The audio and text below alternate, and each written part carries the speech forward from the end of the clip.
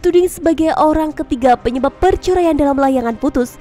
Ini pesona Lola Diara. Dilansir dari pedoman Tangerang. Lola Diara selebgram cantik yang dituding sebagai kandasnya hubungan rumah tangga Momi ASF dan Rizky Zainal.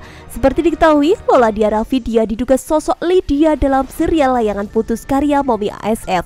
Banyak para penonton begitu geram dengan sosok Lydia yang diduga netizen sosok asli dalam kehidupan nyata ialah Lola Diara. Namun siapa sangka ternyata dibalik sekelumit kisah serial layangan putus tentang sosok Lydia ternyata berbeda dengan Lola Diara Vidya. Jika kalian masih penasaran, siapa sebenarnya sosok Lola Diara Vidya? Yuk kita ikuti ini. Pembisnis saham, Lola Diara sudah menjadi pengusaha sejak usia muda. Ia memulai bisnis sejak masih SMA, usianya kala itu masih baru 19 tahun. Lola memutuskan mencoba peruntungan di bidang saham.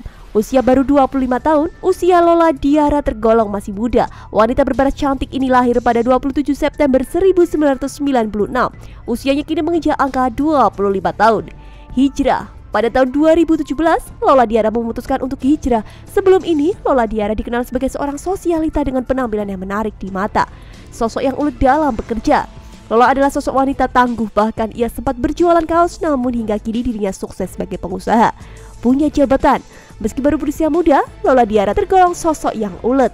Selain bisnis, ia juga menjabat sebagai investment manager di sebuah perusahaan pialang. Sebagaimana diketahui, kisah layangan putus antara suami pelakor dan istri refleks manusia sambungan fakta yang sebenarnya tidak ada hubungannya. Kisah unik dan menarik memang selalu dicari oleh para pembaca yang benar-benar ingin tahu.